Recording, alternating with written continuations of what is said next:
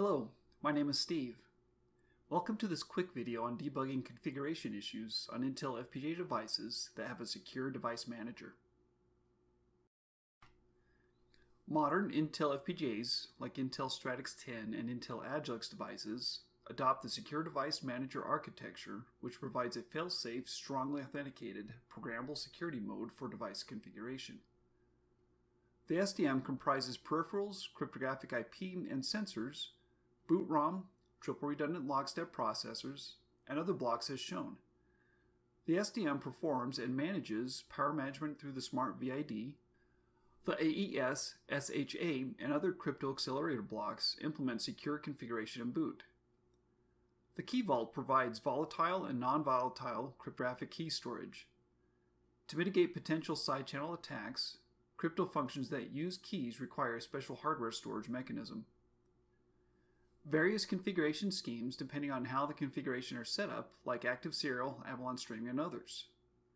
To reduce configuration file size and support smaller memory devices and enable faster configuration, the Intel Quartus Prime software compresses the configuration data. All Intel Stratix 10 devices compress the configuration bitstream. This feature is always enabled. When specifying an encrypted configuration bitstream, the Intel Quartus Prime Pro Edition software compresses the configuration stream before encryption. Due to the feature-rich SDM architecture, there are some configuration dependencies for a successful configuration. I will share some common mistakes that may cause configuration failures and the common debug methodologies.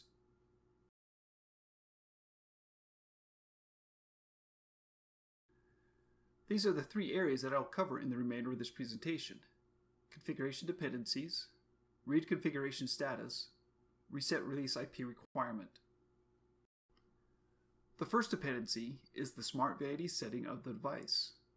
The Smart VID device comes with the dash "-v suffix in its part number.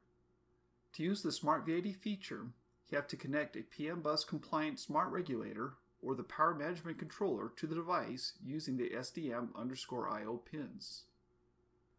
The two diagrams show the connection to the PMBus voltage regulator or the power management controller depending on whether you're using the PMBus master mode or slave mode.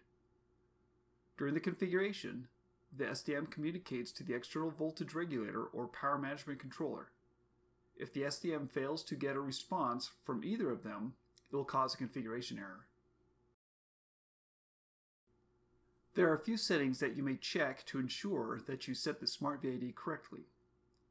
In your Intel Quartus Prime Pro project, you can check whether the SDM I.O. pins have been assigned correctly as shown in the diagram. The setting has to be matched with the physical pin connection to the PM bus voltage regulator or power management controller. Secondly, you need to ensure the power management setting in the device and pin options as shown in the diagram is set correctly according to your PM bus address assignment on your board design.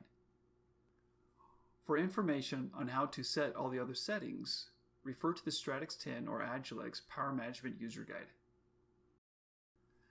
Verify that the board connections to the SDM I.O. pins and the PM bus are connected correctly to the voltage regulator or power management controller. Some boards may have dip switches to connect or disconnect the PM bus.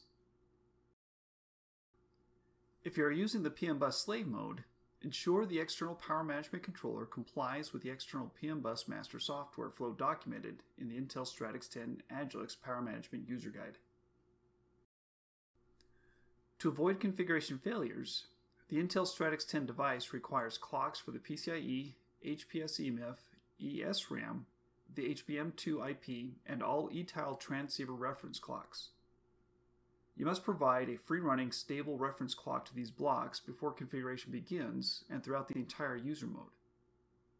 The clock frequencies must match the frequency settings specified in Intel Quartus Prime software during configuration. Stopping the reference clock during the user mode may result in a functional failure. This reference clock is in addition to the configuration clock requirements. The last dependency is the configuration clock source. If you use the OSC clock 1, you need to ensure the clock frequency setting in the Quartus project as shown in the diagram is matched with the actual clock source on the board. There are three clock frequency options in total, 25 MHz, 100 MHz, and 125 MHz. The next debugging tip is to read the configuration status whenever a configuration failure is reported. You may use the Quartus underscore PGM command to read the configuration status. The two diagrams show passing and failing case examples. I won't go through all the various programming options here, as you can find more information about the individual options by running Quartus underscore PGM dash dash help on the command line. The dash C cable number is the index of cables connected to the host machine. The dash M is the programming method, and in this case, I'm programming through a JTAG connection. The dash dash status is the configuration status of the FPGA. The screenshot on the left shows a passing status, whereas the screenshot on the right shows a failing status. More information about the failing status is coming up on the next slide. Now more information about that failing test case. The leftmost two bytes of the state condition indicate the major error code, and the rightmost two bytes indicate the minor error code. For the example in the screenshot, the major error code of hex F002 indicates an external hardware access error and the minor error code of hex 32 indicates a power management bus error during configuration due to an incorrect VID setting in the Intel Quartus Prime project. The target device failed to communicate with the smart regulator or the PM bus master on a board. The status message for the error codes are found in the appendix of the Mailbox Client Intel FPGA IP user guide. Intel Stratix 10 and Agilex devices use a parallel, sector-based architecture that distributes core fabric logic across multiple sectors. Device configuration proceeds in parallel with each local sector manager configuring its own sector. Consequently, FPGA registers and core logic do not exit reset at exactly the same time as has always been the case in previous FPGA families. So, the intended initial state becomes transitory. The continual increases in clock frequency, device size, and design complexity now necessitate a reset strategy that considers the possible effects of slight differences in the release from reset. The reset release Intel FPGA IP holds a control circuit in reset until a device has fully entered user mode, at which point the design downloaded into the FPGA starts running.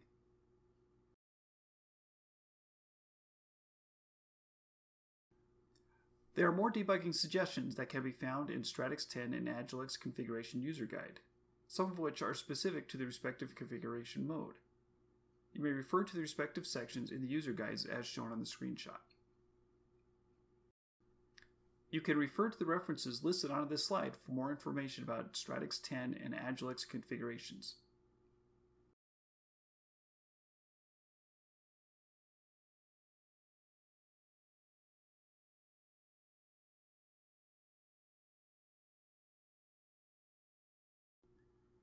Thank you for listening to this presentation.